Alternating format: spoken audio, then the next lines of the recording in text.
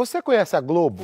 Porque a gente é muito mais do que uma empresa de conteúdo. A gente não é uma, mas várias marcas que juntam emoção com tecnologia, que rendem conversa, vídeo, áudio, meme, do plim ao play, do play ao display e do display ao nem sei. Tudo isso de um jeito cada vez mais forte, mais próximo, mais nosso. A gente se conecta tanto porque coloca você no meio de tudo que a gente faz. Muito prazer, Globo